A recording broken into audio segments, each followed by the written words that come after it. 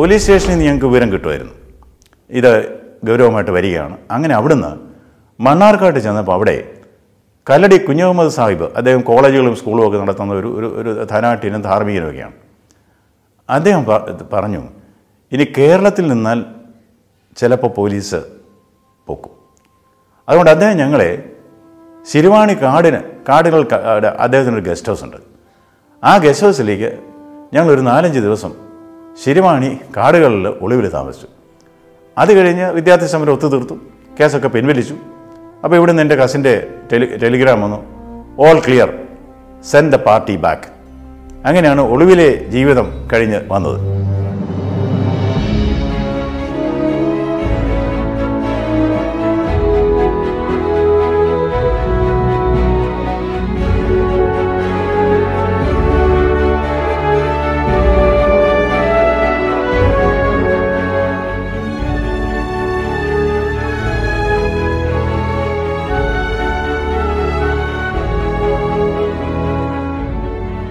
ഈ ഒളിവിലെ ജീവിതം ഞാനൊരു വിപ്ലവകാരി ആയതുകൊണ്ടല്ല ഒന്നുമല്ല ഒളിവിൽ പോയത്. പക്ഷേ ഈ ഒളിവിൽ ജീവിച്ചതുകൊണ്ട് ഏതാണ്ട് വിപ്ലവകാരിയുടെ ഒളിവ് ജീവിതവും അല്ലാതെ ഒളിവ് ജീവിതമൊക്കെ ഏതാണ്ട് മാനസിക ഭാവം ഒന്ന് തന്നെയാണ്. അതെനിക്ക് മനസ്സിലായത് തോപ്പിൽ ഭാസിയുടെ ഒളിവിലെ ഓർമ്മകൾ വായിക്കാനിടയായി എത്ര മനോഹരമായൊരു പുസ്തകമാണ്. വളരെ മനോഹരമായ പുസ്തകം. ഞാൻ ഞാൻ എന്ന ഭാവം ഇല്ലാതെ തന്റെ വിപ്ലവ ജീവിതത്തെ വളരെ തന്മയത്വത്തോടെ അവതരിപ്പിച്ചിരിക്കുകയാണ് തോപ്പിൽ ഭാസി അതിൽ പല കാര്യങ്ങൾ പറയുന്നുണ്ട്. എനിക്ക് ഏറ്റവും ഇഷ്ടപ്പെട്ടത് അദ്ദേഹം പറഞ്ഞത് ഈ വവ്വാൽ വവ്വാൽ ഒരിക്കലും അത് കൂട് കെട്ടിയിരിക്കുന്ന അത് തൂങ്ങിക്കിടക്കുന്ന മരത്തിൽ നിന്ന് പഴം എടുക്കുകയില്ല. അത് അത് അതുപോലെ ആ പറമ്പിൽ നിന്ന് എടുക്കുകയില്ല. മറ്റാരുടെയെങ്കിലും പറമ്പിൽ പോയി കൊണ്ടുവരുള്ളൂ. അപ്പം എനിക്ക് തോന്നി ഈ കേരളത്തിന്റെ ദേശീയ പക്ഷി വവാലായിരിക്കും കാരണം ഇരിക്കുന്ന സ്ഥലം മുടിപ്പിക്കുന്നത് നമ്മൾ മാത്രമേ ഉള്ളൂ. വവാലിൽ നിന്ന് നമ്മൾ പലതും പഠിക്കാനുണ്ട്. ഇനി വലിയ വിപ്ലവകാരികളുടെ ദസ്തയോവസ്കിയുടെ ഒളിവിലെ ഓർമ്മക്കുറിപ്പുകൾ എന്ന പുസ്തകം വായിച്ചു. പിന്നീടാണ് മനസ്സിലായത് അത് അദ്ദേഹത്തിന്റെ ഒളിവിലെ ഓർമ്മകളല്ല. അദ്ദേഹത്തിന്റെ കഥാനായകന്റെ അല്ലെങ്കിൽ പ്രതിനായകന്റെ ഓർമ്മക്കുറിപ്പുകളാണ് അത്. എങ്കിൽ ആ പുസ്തകം വായിക്കാനിടയായത് ഒളിവിലെ ഓർമ്മകളെക്കുറിച്ചുള്ള പുസ്തകമാണല്ലോ എന്നതുകൊണ്ടാണ്. ചേകുവേരുടെ ചേകുവേരുടെ ഗറില്ല അത് വായിക്കേണ്ട പുസ്തകമാണ്. അതിൽ അദ്ദേഹം പറയുന്ന ഒരു കാര്യമുണ്ട്. വിപ്ലവം എന്ന് പറയുന്ന വികാര ജീവികൾക്കോ എടുത്തുചാട്ടക്കാർക്കോ ഉള്ളതല്ല എന്ന്. മറ്റൊരു കാര്യം കൂടി. അപ്പോൾ എനിക്കൊന്നും ഞാനൊരു വിപ്ലവകാരി ആയിരുന്നു. അദ്ദേഹം പറയുന്നത് ചാരപ്രവർത്തനം നല്ലപോലെ നടത്തണം. ചാരന്മാർ നിങ്ങൾക്ക് അതാത് സമയത്ത് കൃത്യമായ വിവരം കൊണ്ട് തന്നാൽ വിപ്ലവകാരികൾക്ക് സുഖമായി കിടന്നുറങ്ങാമെന്ന് വളരെ ശരിയാണ്. ഞങ്ങൾക്ക് പോലീസിന്റെ പിടിയിൽ നിന്നും മാറി നിൽക്കാൻ പറ്റിയത് അതാത് സമയത്ത് ഞങ്ങൾക്ക് വിവരം കിട്ടിക്കൊണ്ടിരുന്നു. അപ്പോൾ ചാരപ്രവർത്തി അന്ന് നല്ലപോലെ ചെയ്തിരുന്നു. തിരിഞ്ഞു നോക്കുമ്പോൾ എനിക്ക് തോന്നുന്നു അമ്പട ഞാനേ വേണമെങ്കിൽ എനിക്കും ഒരു വിപ്ലവകാരി ആകാമായിരുന്നു. പക്ഷെ എനിക്ക് നന്നായി അറിയാം ഞാനൊരു വിപ്ലവകാരിയില്ല. പിന്നെ എങ്ങനെ ഈ ഒളിവ് ജീവിതം നയിച്ചു എന്ന് ചോദിച്ചാൽ ഒരു ചെറിയ കഥ കേട്ടിട്ടുണ്ട്.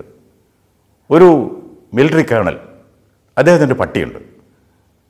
ആ പട്ടി വളരെ നല്ലപോലെ ഓടാൻ ട്രെയിൻ ചെയ്തിരിക്കുകയാണ്. ഏതിനെ പിടിച്ചുകൊണ്ട് വരാൻ പറഞ്ഞാലും പട്ടി ഓടിച്ചെന്ന് പിടിക്കും.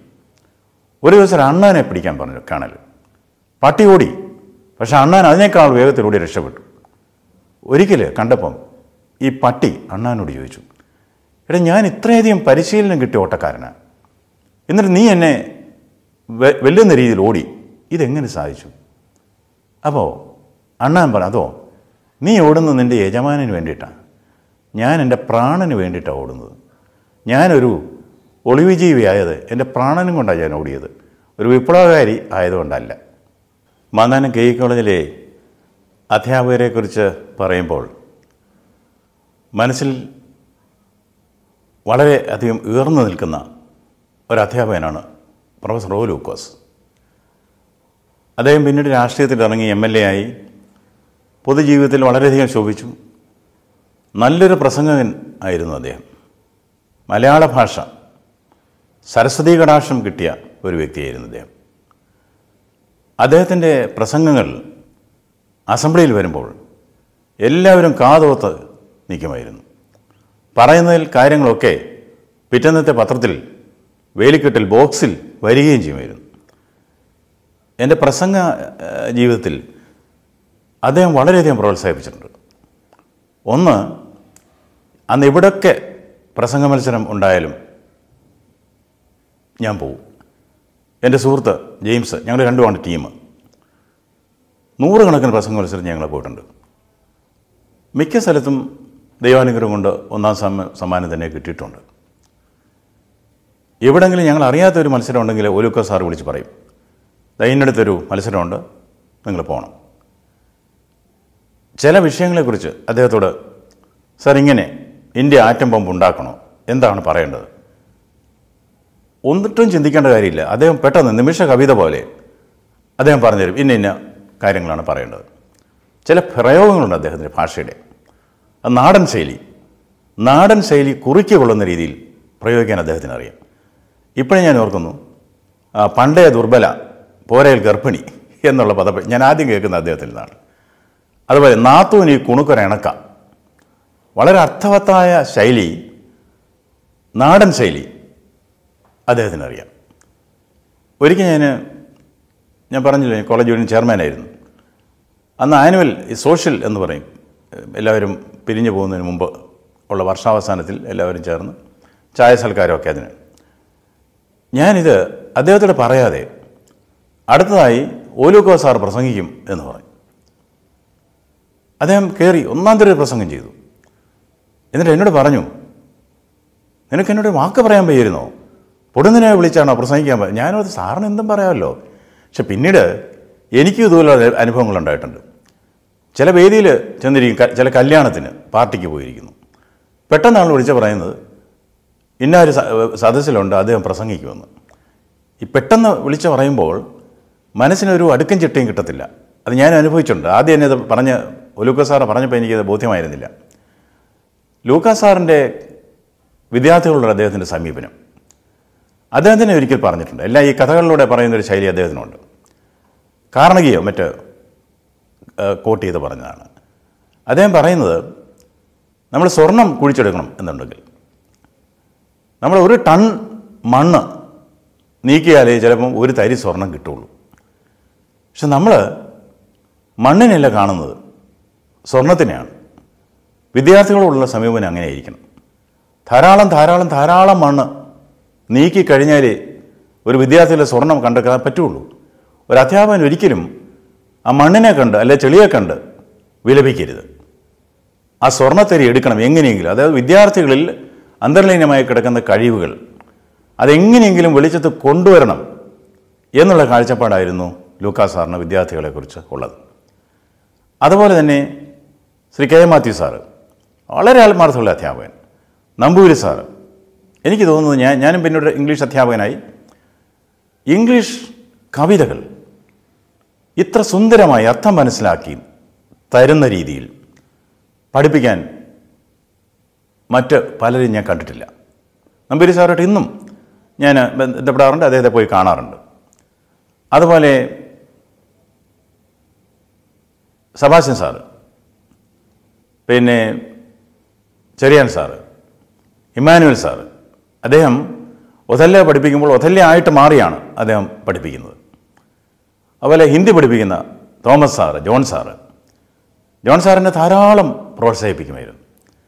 ചിലപ്പോൾ പരീക്ഷയ്ക്ക് എന്റെ ഉത്തരക്കടലാസ് എടുത്ത് ക്ലാസ്സിൽ മുഴുവൻ വായിച്ചിട്ട് അദ്ദേഹം പറയും ചില്ലിട്ട് വയ്ക്കേണ്ട ഉത്തരക്കടലാസാണിത്. അങ്ങനെ കലവറയില്ലാതെ പ്രോത്സാഹിപ്പിക്കുന്ന അധ്യാപകരായിരുന്നു ഉള്ളത്.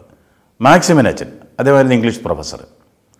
അദ്ദേഹം പഠിപ്പിക്കുമ്പോൾ സ്ത്രീ കഥാപാത്രങ്ങളുടെ റോൾ വരുമ്പോൾ അദ്ദേഹം സ്ത്രീകളുടെ ശബ്ദത്തിൽ തന്നെ അങ്ങ് സംസാരിക്കും.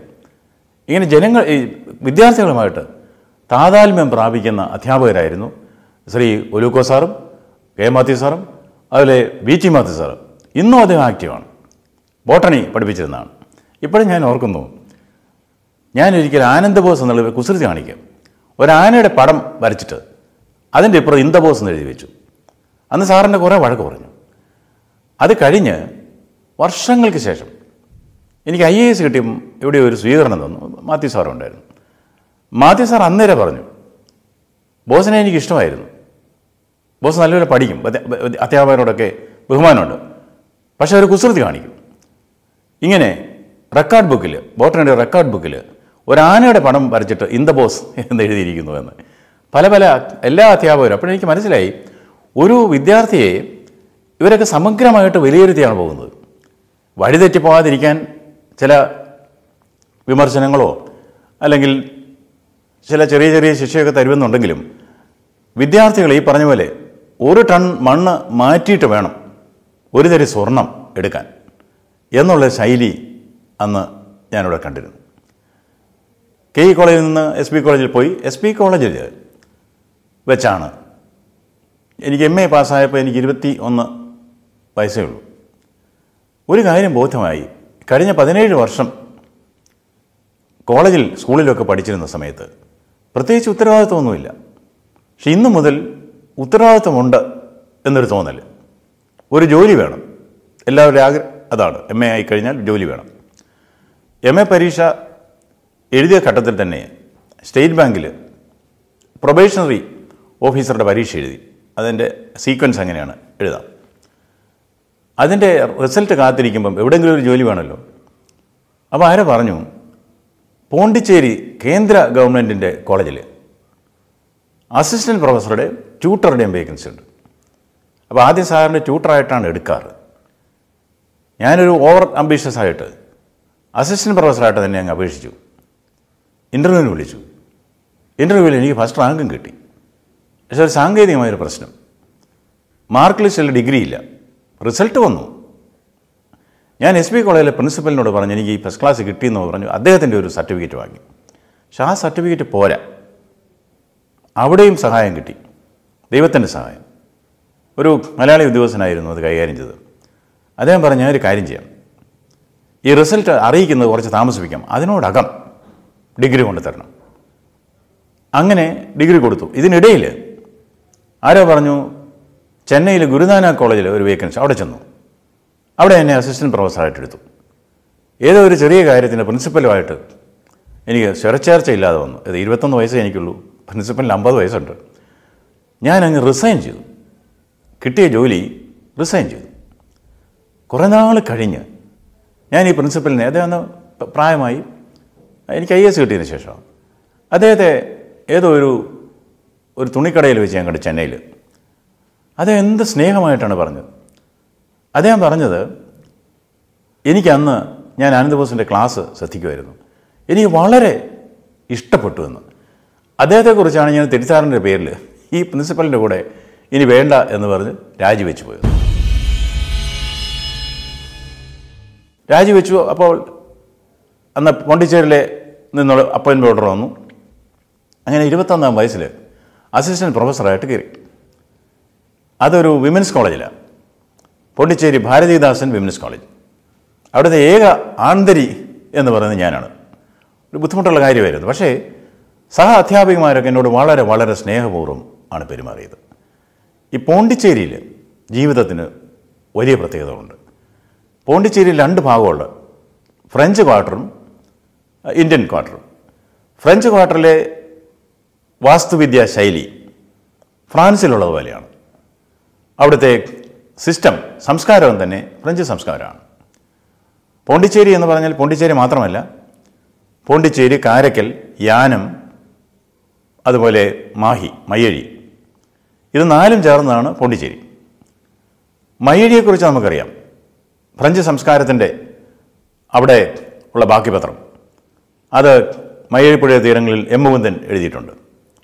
ലെസ്ലി സായിപ്പും ദാമു റൈറ്ററും കൊറമ്പിയും ഒക്കെ. ഒരു വിഭാഗം ഫ്രഞ്ച് സംസ്കാരം നല്ലതാണ് എന്ന് വിശ്വസിക്കുന്ന ഒരു കൂട്ടർ. മറ്റൊരു കൂട്ടർ ഇതൊരു വിദേശ ശക്തിയാണ്. ഇവരിൽ നിന്ന് സ്വാതന്ത്ര്യം വേണം. ഇവരെ ഇവരെക്കുറിച്ചുള്ളതാണല്ലോ പ്രധാനമായും മയ്യഴിപ്പുഴയിൽ മുകുന്ദൻ പറയുന്ന കാര്യങ്ങൾ. ആ സംസ്കാരം തൊട്ട് അറിയാൻ കഴിഞ്ഞു എന്നുള്ളതാണ് പോണ്ടിച്ചേരി ജീവിതത്തിന്റെ ഒരു വലിയ സവിശേഷത. നല്ല അവിടെ ചില സാമൂഹ്യ പ്രവർത്തനങ്ങൾ ഏർപ്പെട്ടു. ഒരിക്കൽ ഞങ്ങളുടെ വീട്ടിൽ ഈ അടിച്ചു വരാൻ വരുന്നൊരു പാവസ്ത്രീയുണ്ട് പഞ്ച പഞ്ചമി അവർ അലമുറയിട്ട് കരഞ്ഞുകൊണ്ട് വരുന്നു. അവർ സ്ലമ്മിലാണ് താമസിക്കുന്നത്. റഷ്യക്കാർ താമസിക്കുന്ന ചേരി പ്രദേശത്ത് താമസിക്കുന്നതാണ്. പഞ്ചമ്മ പഞ്ചമയല്ല പഞ്ചമ്മ. അവർ അവരുടെ മകനെ പോലീസ് പിടിച്ചു. ഈ ചേരി പ്രദേശത്തുള്ളവരെ പോലീസ് പിടിച്ചുകൊണ്ട് പോകാമെന്ന് പറയുന്നത് ഒരു പതിവാണ്. ഏതെങ്കിലും കേസിൽ ആരെയെങ്കിലും പ്രതിയെ കിട്ടാനില്ലെങ്കിൽ ചേരിയിൽ നിന്നുള്ള ആരെയെങ്കിലും പിടിച്ച് അവരുടെ മേൽ അത് ആരോപിക്കുക എന്നുള്ളൊരു ശൈലിയാണ്. പക്ഷേ പഞ്ചമേ ഹൃദയം പൊട്ടിച്ചതല്ല മകനെ മോഷണത്തിന് പിടിച്ചിരിക്കുന്നു. അതിനു വേണ്ടിയിട്ടല്ല അവർ വീടുകളിൽ പോയി അടിച്ചു വാരി പണം ഉണ്ടാക്കുന്നത് മകനെ മോഷണമാക്കാനല്ല അവർക്ക് വലിയ ദുഃഖമായിരുന്നത്. അപ്പോൾ ഞങ്ങൾ അധ്യാപകർ അതിലിടപെട്ടു പോലീസിൽ വിളിച്ച് പറഞ്ഞ് അവനെ ഇറക്കി കൊടുത്തു അത് കഴിഞ്ഞപ്പോഴാണ് മനസ്സിലാകുന്നത് ഈ റിക്ഷാക്കാരന്റെ തെരുവിൽ എപ്പോഴും വഴക്കാണ് അടിയാണ്. കിട്ടുന്ന കാശ് മുഴുവൻ കൊണ്ടുവന്ന് മദ്യപിച്ച് ഭാര്യയെ തല്ലുന്ന ഒരു രീതി. അലമുറ കേൾക്കാം. പോലീസിന് എന്തെങ്കിലും കാര്യമാണ് പോലീസുകാരൻ ചിലപ്പം ഇതിലൊക്കെ കൂടും. ഈ സ്ത്രീകളുടെ പ്രശ്നം ശരി പ്രദേശത്ത് സുരക്ഷിതത്വമില്ല. സ്വന്തം ഭർത്താവിനെ പോലും വിശ്വസിക്കാൻ വയ്യ. മുട്ടാളന്മാർ ഗുണ്ടകൾ വളരെ ബുദ്ധിമുട്ടിയാണ് അവർ കഴിഞ്ഞത്. അപ്പം ഞങ്ങൾ അതിലേക്കൊക്കെ ഇറങ്ങി ചെന്നു അവിടെ ഒരു അധ്യാപകനുണ്ടായിരുന്നു എന്റെ കസനാണ്.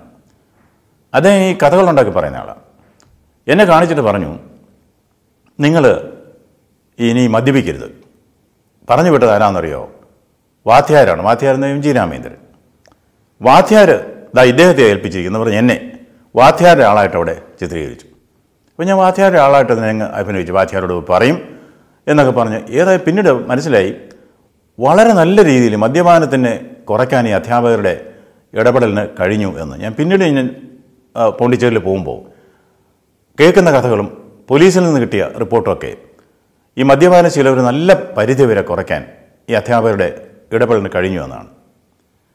പോണ്ടിച്ചേരിയിൽ നിന്ന് എന്നെ കാരക്കിലേക്ക് മാറ്റി. അതും വിമൻസ് കോളേജിൽ. ഞാൻ മാത്രമുള്ള ആണായിട്ട്. പക്ഷെ നല്ല വിദ്യാർത്ഥികൾ. കാരക്കലുള്ളത് വളരെ ഗ്രാമപ്രദേശത്ത് നിന്ന് വരുന്ന വിദ്യാർത്ഥിനികളാണ്. പഠനത്തിന് അങ്ങനെ മുന്നിട്ടല്ല. എങ്കിലും വളരെ അച്ചടക്കമുള്ള അനുസരണയുള്ള വിദ്യാർത്ഥിനികളാണ്. ഒരിക്കൽ ഞാൻ അവിടെ അവിടെയുള്ളൊരു കാര്യം എല്ലാവരും സൈക്കിളിലാണ് പോകുന്നത്. വിദ്യാർത്ഥിനികളൊക്കെ സൈക്കിളിലാണ് വരുന്നത്. എനിക്ക് സൈക്ലിംഗ് പോലും ശരിക്കും അറിയാൻ വയ്യ. എങ്കിലും ഒരു ധൈര്യത്തിന്റെ പറഞ്ഞ് ഞാനും സൈക്കിളിൽ പോകാൻ തുടങ്ങി. എങ്ങനെയൊക്കെയോ കോളേജിലെത്തും തിരിച്ച് വീട്ടിലെത്തും. ഇത് ട്രാഫിക് ലൈറ്റ് ചുമന്ന ലൈറ്റ് കാണുമ്പോഴും ഞാൻ അതൊന്നും ഗവനിക്കാതെ സൈക്കിൾ ചവിട്ടി വിടും അപ്പോൾ ഒരിക്കലേ അവിടുത്തെ പോലീസുകാർ പറഞ്ഞു. ഈ പോലീസുകാരെയൊക്കെ പഠിപ്പിക്കുന്ന അധ്യാപകരാണ് ഞങ്ങൾ അപ്പോൾ അതുകൊണ്ട് അധ്യാപകരോടൊരു ഒരു പ്രത്യേക പരിഗണനയുണ്ട്. അവരെന്റെ കസിനോട് പറഞ്ഞു നമ്മുടെ ബോസാനോട് പറയണം കേട്ടോ. ഈ ട്രാഫിക് ലൈറ്റ് ഇങ്ങനെ ചുമന്ന ലൈറ്റ് ഉള്ളപ്പോഴേ എന്നാൽ അവിടെ വരുമ്പോൾ ഒരു സൈക്കിളിന്റെ ബെല്ലെങ്കിലും അടിച്ചാൽ ഞങ്ങൾ അത് നിയന്ത്രിച്ചു വിടാം എന്ന് പറഞ്ഞു. ഞാൻ ഓർത്തു ഈ നീൽസ് ബോറിനെ കുറിച്ച് കണ്ട് പ്രമുഖ ശാസ്ത്രജ്ഞൻ അദ്ദേഹം നൊബേൽ സമ്മാനം കിട്ടിയ ആളാണ്. ഡെൻമാർക്കിൽ. അദ്ദേഹം വീട്ടിൽ നിന്ന് പോകുന്നത് ലബോറട്ടറിയിലേക്ക് പോകുന്നത് സൈക്കിളിലാണ്. ഇതുപോലെ ട്രാഫിക് നിയമങ്ങളൊന്നും നോക്കുകയില്ല. പക്ഷെ അവിടെ നിയമം വളരെ സ്ട്രിക്റ്റാണ് ഒരാൾക്കായിട്ട് മാത്രം നിയമം ലംഘിക്കാനൊന്നും അവർക്ക് സമ്മതിക്കാൻ പറ്റില്ല. പക്ഷേ നൊബേൽ സമ്മാനം കിട്ടിയ ഒരാളെ എങ്ങനെ ശിക്ഷിക്കും ഒടുവിൽ അവിടുത്തെ പാർലമെന്റ് തീരുമാനിച്ചു ട്രാഫിക് നിയമങ്ങൾ നീൽസ് ബോറിന് ബാധകമല്ല എന്നൊരു ഭേദഗതി വരുത്തി എന്നാണ് കേട്ടിരിക്കുന്നത്. ഏതായാലും എന്റെ കാര്യത്തിൽ ഭേദഗതി ഒന്നും വരുത്തേണ്ടി വന്നില്ല. സൈക്കിൾ ഓട്ടം ഞാൻ നിർത്തി. അതും ഒരു കഥയാണ്. ഞാൻ കോളേജിലേക്ക് ഒരിക്കൽ സൈക്കിൾ ചവിട്ടി പോകുന്നു. പ്രിൻസിപ്പലും വിദ്യാർത്ഥിനികളുമൊക്കെ ഈ വരാന്തയിൽ പരിഭ്രമിച്ച് നിൽക്കുകയാണ്. എന്താണെന്ന് എനിക്ക് മനസ്സിലായില്ല. ഞാൻ പതിവ് പോലെ സൈക്കിൾ വെച്ച് നടന്നങ്ങ് പോയി. കോളേജിന്റെ മുമ്പിൽ ഒരു വലിയ മരമുണ്ട്. ആ മരത്തിന്റെ മരത്തിൽ ഒളിച്ചിരുന്ന മരത്തിന്റെ ചുവട്ട് പുറകിൽ ഒളിച്ചിരുന്ന ആചാനുഭാവ ഒരു ഭ്രാന്തൻ അട്ടഹസിച്ചുകൊണ്ട് എന്റെ നേരെ ഓടി വന്നു. പെൺകുട്ടികളും അധ്യാപകരും നോക്കി നിൽക്കുകയല്ലേ? ഞാനാണ് അവിടെയുള്ള ഏക പുരുഷ കേസരി. നാണക്കേടാകുകയല്ലേ? ധൈര്യം അവലംബിച്ച് ഞാനങ്ങ് പോയി. എങ്ങനെയോ ഭ്രാന്തന്റെ കയ്യിൽ നിന്ന് രക്ഷപ്പെട്ടു. എങ്കിലും പ്രിൻസിപ്പലായിരുന്ന ഉമാമാഡം എന്നോട് പറഞ്ഞു കണ്ടവ് പറഞ്ഞു ആ ഭ്രാന്തൻ ചാടി വന്നപ്പോൾ ആനന്ദവസർ അഞ്ചിഞ്ച് മുകളിലേക്ക് പൊങ്ങുന്നത് ഞാൻ കണ്ടു എന്ന്. അന്ന് ഞാൻ വീണ്ടും സൈക്കിൾ ചവിട്ടിപ്പോയി. ഇതെന്റെ മനസ്സിലുണ്ട്. ഈ ഭ്രാന്തൻ വന്ന കാര്യവും എളിപ്യനായ കാര്യമൊക്കെ മനസ്സിൽ വെച്ചുകൊണ്ട് സൈക്കിൾ ചവിട്ടി. എങ്ങനെയെന്ന് അറിയില്ല. നോക്കിയപ്പോൾ സൈക്കിളിൽ നിന്ന് ഞാൻ താഴെ വീണ് നാട് റോഡിൽ കിടക്കുന്നു. ആരൊക്കെ ഓടി വന്നു?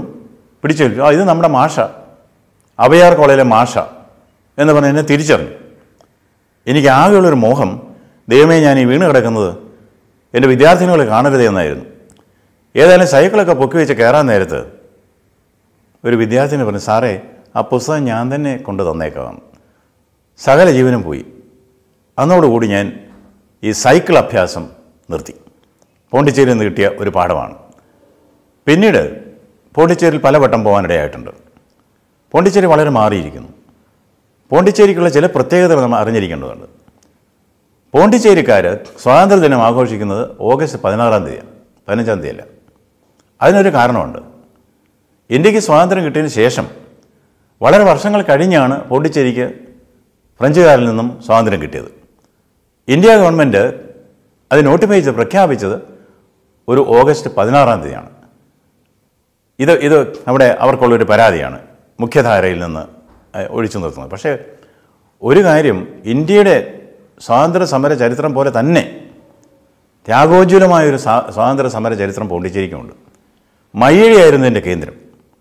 ഫ്രഞ്ച് ആധിപത്യത്തിനെതിരായി നടന്ന സ്വാതന്ത്ര്യ സമരത്തിന്റെ കേന്ദ്രം മയ്യഴിയായിരുന്നു ഒരു ഘട്ടത്തിൽ അഡ്മിനിസ്ട്രേറ്ററുടെ ബിൽഡിങ്ങിൽ നിന്ന് ബ്രിട്ടീഷ് പതാക താഴ്ത്തി ഇന്ത്യൻ പതാകയോടെ കെട്ടി ട്രഷറി പിടിച്ചെടുത്തു.